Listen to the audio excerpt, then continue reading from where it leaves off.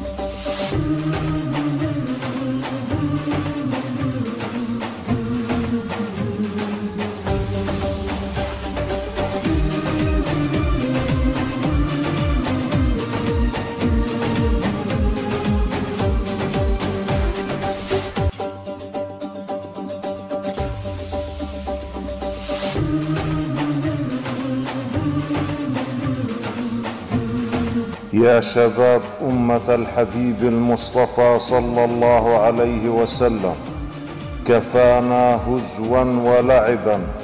تعالوا إلى الله وإن شاء الله سننتصر به. لأنه يا شباب في أغلبنا حريص على الحياة الدنيا ويكره الموت وبخاف منه جداً. هذا في أغلبنا. فلو جينا سألنا سؤال هل في حالات بيكون فيها باطن الأرض خير من ظاهرها؟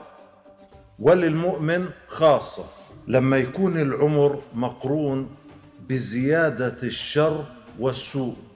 كل ما يطول عمرك زاد السوء والشر اللي تتلقاه الناس منك. لما سئل عليه الصلاة والسلام عن أي الناس شر فقال صلى الله عليه وسلم بما معنى قوله؟ قال من طال عمره وساء عمله فعندئذ يا شباب إيش بنحكي باطن الأرض خير من ظاهرها. لما يحارب الله في أرضه ويهان قدر الحبيب صلى الله عليه وسلم في أمته. ويركن القرآن من قرائه. ويحاصر الإسلام من سفهائه. ويتقاعس المسلم عن مقدسه وأرضه وعرضه. فعندئذ باطن الأرض خير من ظاهرها عندما يتحكم رويبضة ومتخلف وسارق وفسل وعاهة ومنقلب وخائن بمصائر ملايين المؤمنين الموحدين والأحرار يسوقهم بعصاه كالبهائم أو العبيد بخوف فعندئذ باطن الأرض خير من ظاهرها.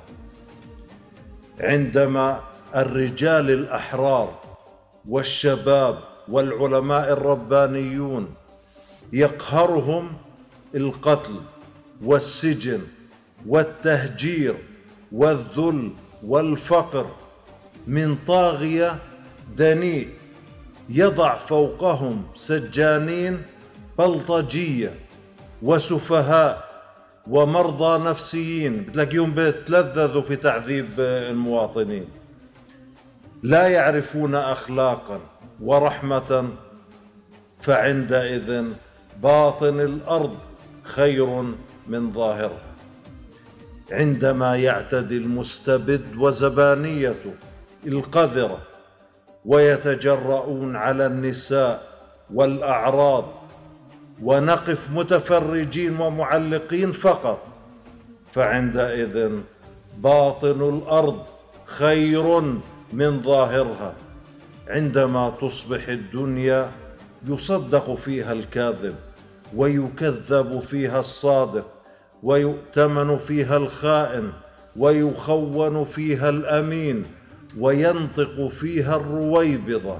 فعندئذ باطن الأرض خير من ظاهرها عندما يقف للحساب والمساءلة والتحقيق الحر والشريف والعالم الرباني والتقي من قبل مين اللي بحاكم فيه؟ الظالم والفاسد والخائن والسفيه. فعندئذ باطن الأرض خير من ظاهرها. عندما يهجر المواطن الصالح العاشق لوطنه الذي يدفع من جيبه لرفع وطنه من قبل لص ومستبد استنزف الوطن والمواطن وأهلكه هو وعصبته. فعندئذ باطن الأرض خير من ظاهرها. عندما يستتر أهل الحق خوفا أمام أهل الباطل ويؤمر بالمنكر وينهى عن المعروف فعندئذ باطن الأرض خير من ظاهرها.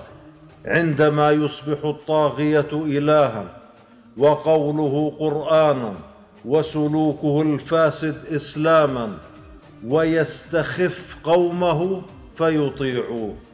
فعندئذ والله باطن الأرض خير من ظاهرها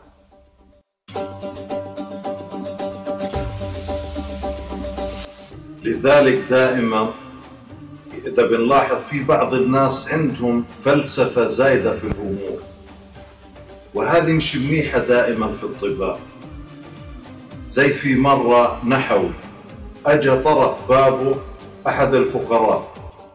ولكن هيك بشدة فقرقع الباب هيك فالنحوي تضايق شوي.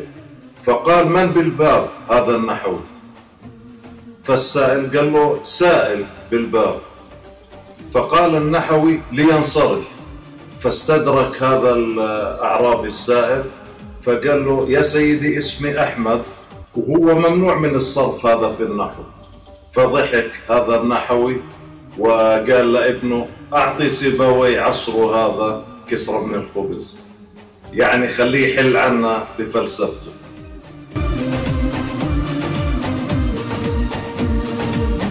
سبحان الله من الفواجع اللي بنعيشها في هذا الزمن اللي هو ارتباط الحمد والشكر لله في معصيته أو في الذنوب والمعاصي أو في نشر الرذائل. أو يصير يقول لك ربنا وفقني والله رقاصة تنشر رذائل. أو مثلا أفلام يصير يقول لك والله جابت إيرادات وكل كل اللي فيها عصيان لله ورسوله وراح تحاسب عليه. إن الذين يحبون أن تشيع الفاحشة.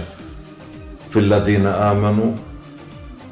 بدل يا ويلهم ويخافوا أي واحد يظهر شيء يغضب الله ورسوله. فيضل مثل الصدقات الجاريات تظل معاصي باقيات عليه. وهو فرحان والله جاب إيرادات. الحمد لله وشكر ربنا وفقني للرقصه هاي والمعاصي والكذا. فبربطوا التوفيق الإلهي والحمد والشكر لله على المعاصي. وهي لا تكون. إلا في جانب الله ورسوله وطاعة الله ورسوله والإحسان والفضائل. هون الارتباط التوفيق الإلهي والحمد والشكر لله. وبالعكس بتلاقي كمان من هالنوعية من الناس يرضوا بأقل الأشياء. آه، خذ منه أي شيء بيرضى بأقل منه. ذبحه ارضى بأقل منه. أنتوا لا تفكروا يا شباب يعني هؤلاء مثلا المستبدين والطغاة. المسؤول الأول هو الشعوب مش المستبد أو الطاغية. شو فرعنك يا فرعون؟ ما لقيت حدا يلمني. وهيك بنظل بكيفون على الأدنى. بعد بشوي دني دنو دنو حتى وصلنا للقاع. ومن هذا المثل بحضرني في رجل برضو من هالحمق هذول من هالأشكال هاي وكذا. فأجوا بيحكوا له إلحق حمارك ضاع فسجد حمدا وشكرا لله على هاي المصيبة. وبيحكي الحمد لله والشكر لله. بيحكوا له انتهبل إحنا بنقول لك حمارك ضاع فبحكي أنا بحمد ربي وبشكره إني أنا ما كنتش على ظهره ولا كان ضعت معه أنا. وهيك لما يلتقي الحمق مع الغباء.